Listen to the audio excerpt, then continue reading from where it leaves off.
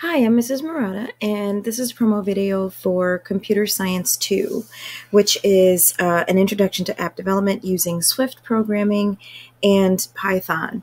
Um, so currently, uh, with our hybrid situation, um, we are going to use Python in the beginning.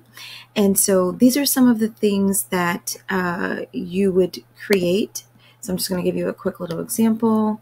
So for this one, you would create an app that allows you to use the arrow keys to move them, to move this house right and left. And then let's go back to course. And then I'll show you one other one.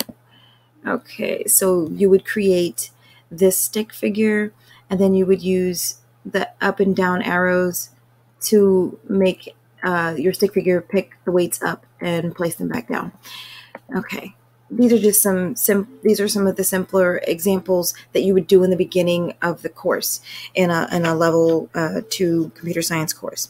Okay, so um, this course is two and a half credits. It's geared towards 9th through 12th graders. The pre prerequisite is Algebra 1, um, meaning you need to have successfully passed Algebra 1 with at least a 75%, um, and that you would need to have taken Computer Science 1 and passed that successfully as well. Um, this class is a little bit more in depth, so it's definitely hands on, but you need to, again, be a problem solver and be ready to work hard to figure out. Um, to figure out how to code your personal projects.